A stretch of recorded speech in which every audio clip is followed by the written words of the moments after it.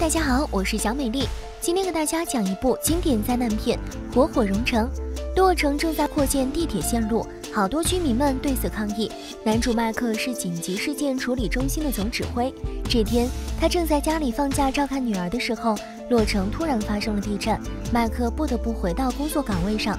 手下小黑告诉他，公园地下发生了水管爆炸，正在进行检测。工人在下面检查的时候发生了爆炸，一行人全部被烧死，只剩下唯一的幸存者。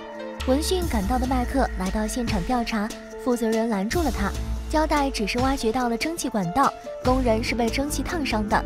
可麦克眼珠一转，心想事情绝不简单，蒸汽怎么会把人烧成这样呢？报告结果三天才能出来。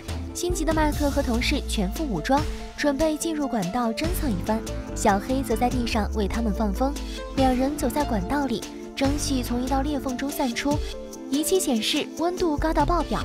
地铁从他们头上的空间驶过，引起了震动。两人还以为又发生了余震。这时地上出现了被煮熟的老鼠，衣服也开始融化。见势不妙的两人拔腿就跑，巨大的蒸汽差点要了两人的性命。逃出升天的麦克赶紧让小黑去找地质学家，看看这到底是怎么一回事。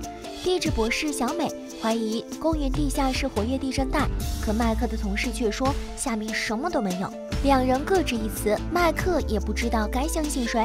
为了验证猜想。小美和麦克来到公园，他提出想去地下采集样本，可麦克觉得太危险，不让他下去。说服不了麦克，小美和助手决定凌晨偷偷潜下去。凌晨五点，第一班地铁开始运行。小美和助手来到地下管道，却不曾想，这时突然发生了地震。睡梦中的麦克和女儿被震醒，地铁也立刻停止运行。小美的助手也掉进了缝隙，正想要拉他上来，一道火焰把他吞噬干净。看着深不见底的裂缝，小美人都吓傻了。此时，整个城市乱作一团，紧急事件处理中心开始了工作。麦克带着女儿准备去安全地方，开车行驶到沥青坑。突然，井盖被蒸汽喷薄而出，沥青坑中冒着滚滚黑烟，火球炸弹从坑中不断射出，街上着起了大火。麦克开着车躲避，并把遭遇通知了工作的小黑。这边，小美从地下爬出，看着水池中沸腾的水，天空中落下的灰烬，她知道灾难降临了。一辆消防车被从天而降的火球砸中，女医生在救助着伤者。麦克把女儿留在车里，前去帮忙。地面突然喷出大量的熔岩，流向了人群。女儿也被火球烧伤。麦克把女儿托付给了女医生，医生带着受伤的消防员和女儿驶向了医院。尽管面对依依不舍的女儿，麦克还是选择了留在这里处理现场。博士小美终于也赶来了，麦克指挥众人将巴士推到熔岩流过来的地方，想要阻止它的流动。可是小小的巴士根本无济于事。面对势不可挡的熔岩，麦克决定建立堡垒来阻止。小美提出水可以让熔岩冷却凝固。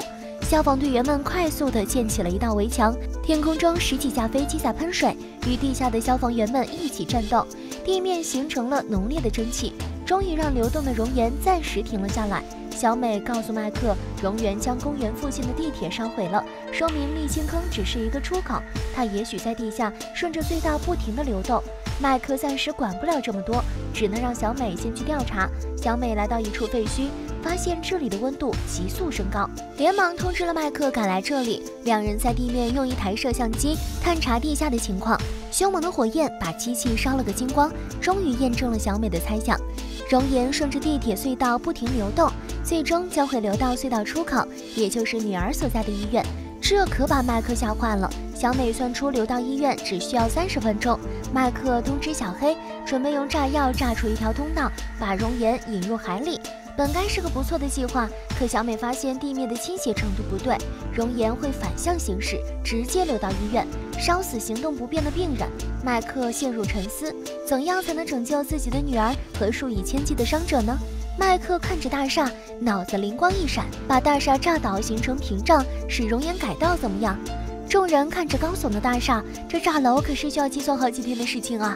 可为了医院里的几千人，只能死马当活马医，冒险把大楼炸掉。小美去寻找麦克的女儿，麦克则留在这里指挥着大家。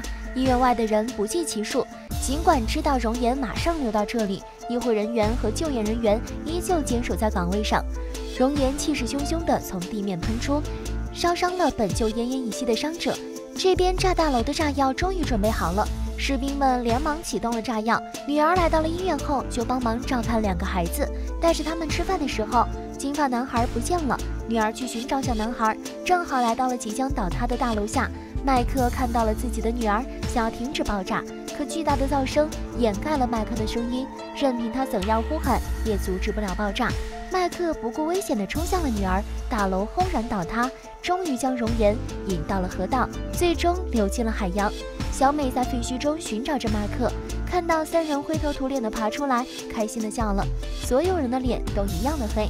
灾难过去，天降甘霖，麦克决定和女儿开心的度假去了。故事到这里就结束了。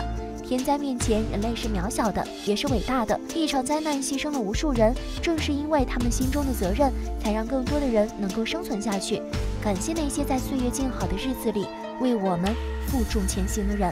好了，今天的。节目。